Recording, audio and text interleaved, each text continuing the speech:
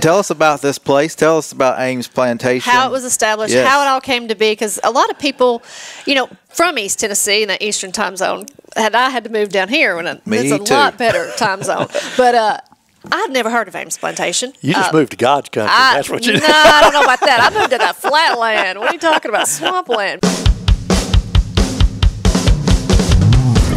The award winning Tennessee Wildcast is on the air with the latest on hunting, fishing, boating, wildlife watching, and all things outdoors. Make welcome your host, drummer and outdoor expert novice, Jason Harmon. All right. Hello, everybody, and welcome to this edition of Tennessee Wildcast. We're glad you're tuning in. Thanks for watching. Thanks for listening. We are at Ames Plantation once again. We've been here before, and we're glad to be back. Uh, we've got Dr. Carlisle with us once again, and Miss Amy Spencer's helping me co-host. And we're in an awesome room here with some pretty cool wallpaper. And we're going to get to all this history and, and learn about this place today. We could do a gazillion shows on Ames Plantation. I mean, there's just, it's the history. A lot of history. Yes. A lot of history. So uh, I'm excited to jump right in. Uh, first, we're going to meet Mr. Mr. Carlisle, Dr. Carlisle. We thank you for being here, and we just want to learn Yes, a little sir. bit about you. Good to have you. and, And start there, if you don't mind. So, No. how, how did you end up here, and, and what's your career been so far? I mean, you're, you're about to retire, I've heard. So. Not far, about Not two far. years off, and, and we'll do that. But I was uh, I finished up my BS and Masters down at Mississippi State, and was looking for a place to go get a PhD from. And so I went to the University of Tennessee. Okay. And we moved there in the spring, I think, of '78 uh, in March. The first week, so we moved from Eastern, ti- I mean, from Central Time Zone to Eastern Time Zones. So that was a culture shock. and then a week later, we had daylight savings time hit, so I lost Oh, another hour. yeah. You were all messed That's messed the up. worst part about Central Time. And then that same week, I got to come to Ames Plantation for the very first time in March of '79, and I actually did my uh, my research work for my PhD on these grounds. And so I got to meet everybody here, uh, Dr. Anderson, who eventually hired me, and Mr. Jimmy Bryan, the former superintendent, and he was a trip within himself. I promise you, that was Charlie Frank's dad, and and so yeah. Now we know where he gets So we, yes, and so I did my research here three years, and uh, it was about the end of the second year, I guess. Uh, they approached me about applying for a job here. And they had already applied. They had already put it up for, uh, you know, trying to hire somebody before me, and they didn't like any of the applicants, so they closed it up. Wow. And they they put it out there again, and I was one of uh, five applicants that applied, and so I interviewed, and I wound up getting the job. I think what helped me out more than anything is I come from a farming background, and uh, we had beef cattle and we had uh, row crops, and so that's what's here, and, and that's how we uh, we have a production outfit here, and so we're we're always trying to make money because we're basically self sufficient at this location, and so. Uh, with that background, they hired me, and then it was a question of learning about bird dogs and uh, field trials. And past that, I already knew how to ride horses. I grew up riding horses and uh, rode high school rodeo and college rodeo down Oh. at Mississippi State. So, Cool. uh, yeah, I could ride anything that walked, but That's got to be a, that's a requirement for the job here. it was interesting. But we moved here in December of 81, and I officially started first day on the job as the assistant superintendent in January of 82 and served 10 years as the assistant superintendent, then 10 years as the associate superintendent. And then I took over, they changed superintendent to director, and I became center director in, uh, in December of. Uh, of 02 is when Dr. Anderson retired, and I took over January of 03. So Wow. I'll have uh, in two more years. I'll have forty years, and that's enough for anybody. It's time to retire and go hang out with the grandkids and all There that kind you of stuff. go. there you go. Yeah. Yep. Yeah, I hear you. Well, let's jump right in. Tell us about this place. Tell us about Ames Plantation. how it was established, Yes. how it all came to be. Because a lot of people, you know, from East Tennessee in the Eastern time zone, had I had to move down here when it, Me it's a too. lot better time zone. But uh, I'd never heard of Ames Plantation. You just Uh, moved to God's country. I, that's what you. no, I don't know about that. I moved to that flatland. What are you talking about? Swampland. But but I had never heard of Ames. So I 20 years ago had to learn all this and still not exactly sure exactly how everything works with the Hobart Ames Foundation trustees. So explain a little bit. It's very unique. Mr. Ames, uh, uh, Mr. Ames was on a cruise. Uh, he and uh, his wife in the late 1890s, and they happened to meet uh, uh, Mr. Duryea from Memphis, and he was a big quail hunter, and Mr. Ames was a big quail hunter, and they got to talking, and and he learned about West Tennessee and the abundant amount of quail at that time. And so he checked out the area and then he decided to purchase. So he bought the manor house and a thousand acres of land. And then he started on a leasing buying spree until at one point he had amassed a little over 25,000 acres. Now he sold a portion of that and today we have 18,400 acres. Mm. Now he acquired most of his land by 1938 and he never paid over $3 an acre for anything. Wow. Now he we, we completely surround one area. You know, we call it the Walker Track, uh, kind of to the to the northwest. Uh, it's 565 acres in there, and we completely surround that. Now, Mr. Ames had the opportunity to buy that for three dollars and fifty cents an acre, and he said it was overpriced. you know, Wow. Sometimes If- you just like to kick only somebody. yeah, yeah. So, uh, but anyway, so Mr. Ames. Uh, Mr. Ames put this place together.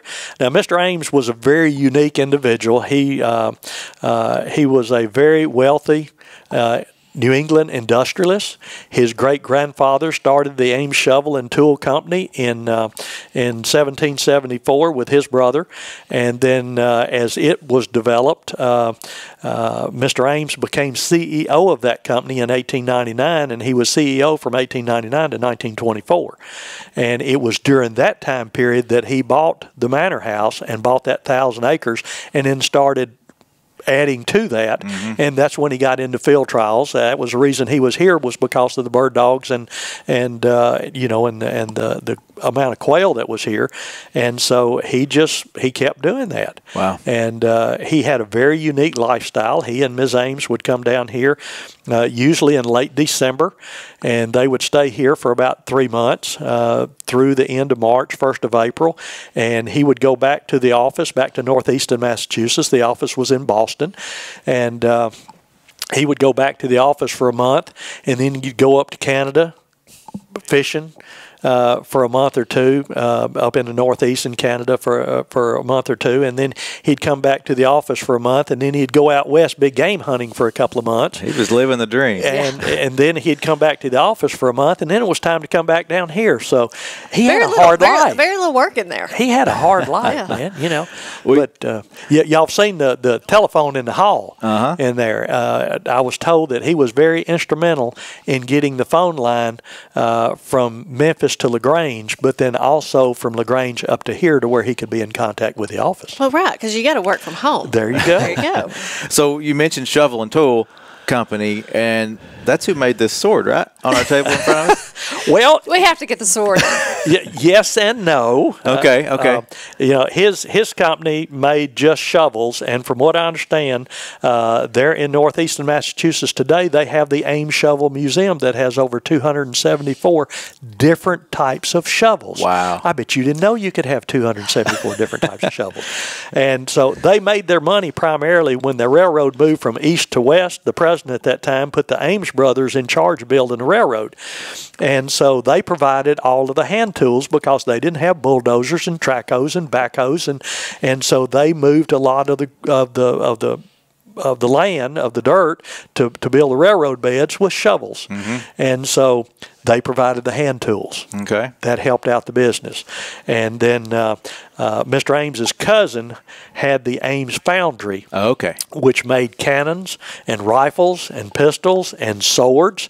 And this is actually a uh, uh, it's a Union sword that was uh, captured on a supply train near Franklin, Tennessee, and it was captured by a captain out of Texas named Sul Ross. And Sul Ross uh, later became uh, president of Texas A&M, and then he also became governor of Texas. And uh, Dr. Doug Guthrie was a podiatrist from Waco, Texas, and he taught Civil War history. And he says, "I've got something I've got to bring you. I know it's I know it is part of Mr. Ames." And I said, "What?" He said, "It's a sword." And so when he brought it, when you pull this out and look at it, it says Ames Foundry. And so we did some some research on that and found that it was actually Mr. Ames's cousin Okay. that did that. So, Wow. but we have the Sul Ross sword. and we actually cool. have some cannons on this place too. Uh, we have a few. Yes, they're in the brick stables. there you go. So that that could you know there's a whole nother all kinds. there's a whole stuff. nother episode. and that's part of the discussion today. You, we you've mentioned, I think in here, there's 225 historical buildings on this property, something like that. Well, we've got uh, we've got quite a few historical sites on Okay. the place, and uh, my assistant Jamie Evans it, uh, helps with the archaeology, or he is the amateur archaeologist on the place, and he works with Rhodes College. We have a uh, we host a uh, an archaeological field school with Rhodes College each year, uh, where they have students that come out here and spend three weeks in residence with us. Usually, the last two weeks of May and the first week of June, and they take one of these historical sites that's located on this place, and, and they're actually looking at the uh, at the slaves that were here at that time, and how uh, where they lived and what they had, and and they're trying to go back through these areas and and dig up the uh, uh, the artifacts that were left there, uh, where the houses were and and where they worked and that sort of thing. And so we work with with Rhodes College doing that, and then the University of Memphis. Uh, their anthropology department, uh, they're looking at. We have four Indian mounds on the place, and so they're looking into the Indian mounds, and those go back. They have they've been into one of those mounds and pulled charcoal out, and those are dated back to 1200. wow. And so that's really neat to, to follow that. What we didn't know is just outside of those four mounds was a village, and it was about seven acres of village. And we've been farming that land ever since I've been here. And uh, it was probably about eight years ago we decided to quit farming that because every time we'd farm it, we'd turn up artifacts. And so uh, we stopped farming that. We planted Bermuda grass on it, so we cut hay for the horses. And uh, uh, but they would uh, they started they, they have some new instruments now that they can run over the ground uh, like ground penetrating radar and they can determine uh, where uh, a house was. They can find holes in there and they found where an old palisade fence went around the perimeter of that thing to take uh, you know to protect the villagers there from uh, another uh, uh, tribe that may attack them. And so we found where the old Palisade fence were. We found where buildings were out there, and the University of Memphis is looking into those and, and trying to document uh, a lot of that as Yeah, well. that's pretty cool. So, uh, Jamie has also located uh, uh, 26 cemeteries that were previously undocumented. They were unknown.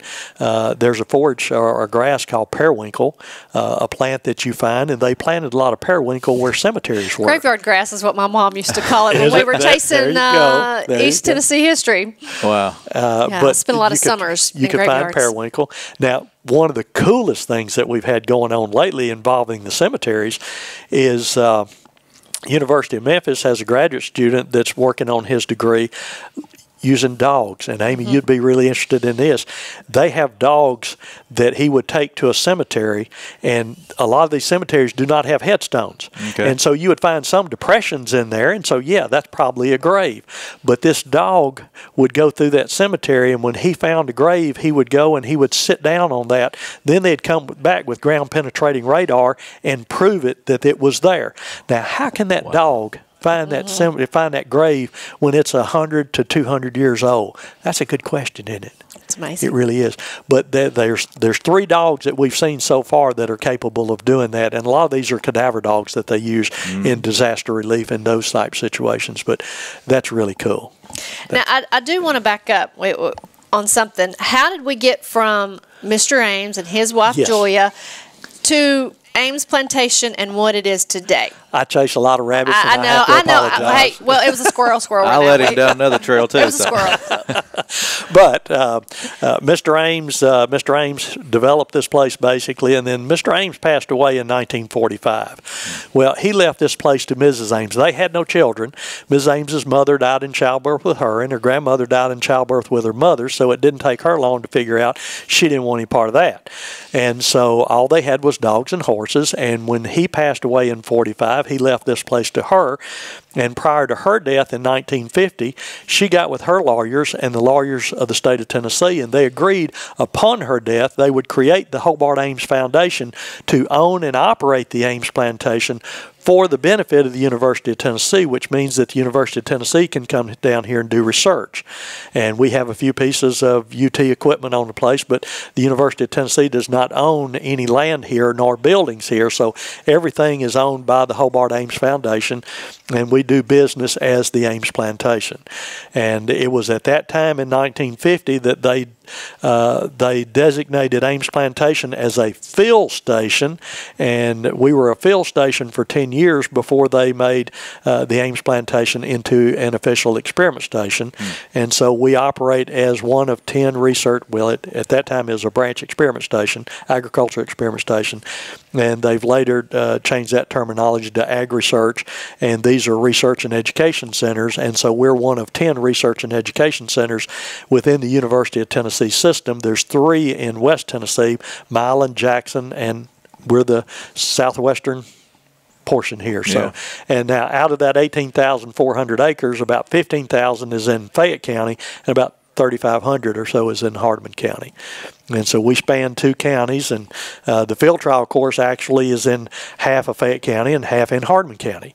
So that works out well as well. And both counties support us tremendously. Right, and everybody knows Ames is the national championship. All right, but it is so much more. We talked about a little bit on the historical research, but you all are hunting and outdoor recreation. Oh, absolutely, absolutely. With uh, with the field trials beyond beyond the field trials, uh, we have a deer hunting club, and uh, that deer hunting club is uh, we've had a quality deer management program underway here since uh, about 2003 is when we started taking the preliminary data on the uh, quality deer management herd, and then we actually started implementing that project. I think it was about 2006 or so, and we have we've maintained a doggone good herd, uh, taking bucks and does, uh, a good buck to doe ratio, mm-hmm. uh, and everything was just looking really, really good until CWD hit. Yeah, we'll stop there.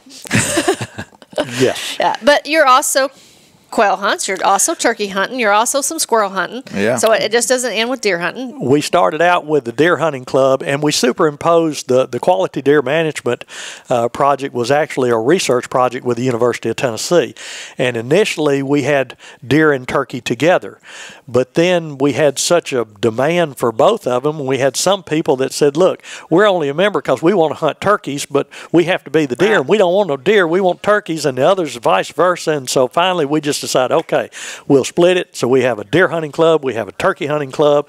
Now, our, our deer hunting club, uh, we, we, talk about that membership. Uh, yes, it changes some each year, but it's a soft waiting list there. Okay. The turkey hunting club, these guys are hardcore. Yeah. yeah. I mean, we can have a vacancy and, and have that vacancy filled in 10 minutes yeah. or less. Wow. And so we've got, uh, we've got quite a few turkeys on the place.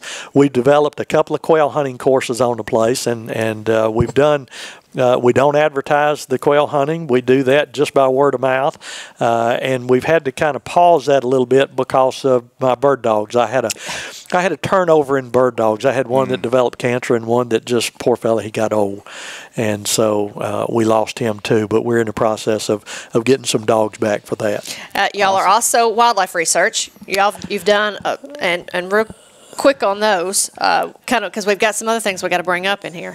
So. well, the wildlife research has been uh, oh gosh, we we've done extensive wildlife re- research on quail. Obviously, seventy years the, worth of quail from the national championship. Uh, you know, Mr. Ames was working with Herb Stoddard. Herb Stoddard wrote the book on quail biology, mm. and uh, we found some old paperwork uh, in a desk in the gun room that was uh, between Herb Stoddard and Mr. Ames, and they were talking about raising red quail. The Tennessee Red. The Tennessee wow. Red. Tennessee and as it turns out, it that is a recessive gene, but they were they were sending rail, uh, quail back and forth via railroad from Thomasville, Georgia, to Ames Plant to Grand Junction, Tennessee, and so that's how the Tennessee Red developed, and we've we've had that here. And that's also Ames is known for the Tennessee Reds. Tennessee Reds, awesome. absolutely. Wow. And cool. so we've uh, we've got that. So we've done uh, we've done radio telemetry work with quail, uh, and uh, and got quite a bit of work done on that. We've done the deer work. We've done work with coyotes. We worked with the University of Memphis, Dr. Mike Kennedy down there, mm. where we put uh, uh, collars. It was one of the first GPS collars ever put on uh, a coyote, and we put that on on him, and they tracked that dude, and he wound up. Uh, somebody killed him over near Savannah, near Pickwick. Uh, and so, So traveling- actually yes. Yeah, traveling Yeah. actually got the the collar back on that coyote but you know that's what 55 60 miles. So that's that was interesting within that. But we've worked with mike uh, not only on that but then also on small mammalian predators. Uh, this place is large enough that at one time we had five different locations. We have uh, we'd, we'd fix up a square mile and we had one square mile here and then four more spread across the place. So you had five locations. So that increased your degrees of freedom with the statistics mm. portion of it to, to where you could have more locations.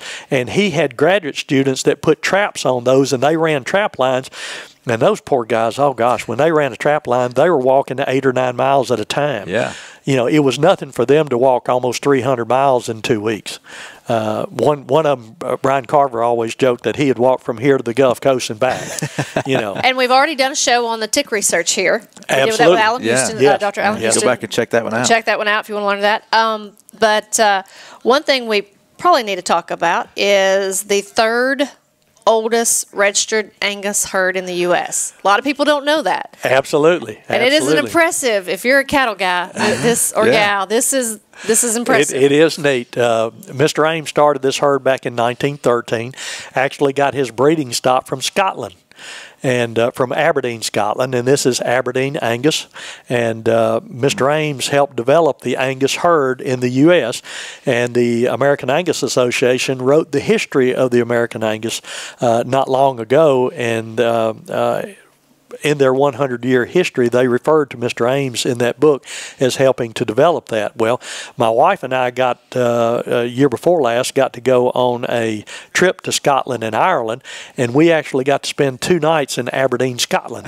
And so I got to just see. Ab- happened, just happened just to go happened there. to be yeah, just there. Just happened. wound up there. Yeah. just so I got to see Aberdeen Angus cattle at that time. Now we're we're running about 160 head of cattle right now, uh, mama cows, and uh, that's registered Angus. And then we've got about 30 crossbred cattle, either Hereford Angus or Angus Simmental. Uh, that was left over from a research project that we did where we were comparing straightbred Angus to Hereford Angus crosses to Angus Simmental crosses.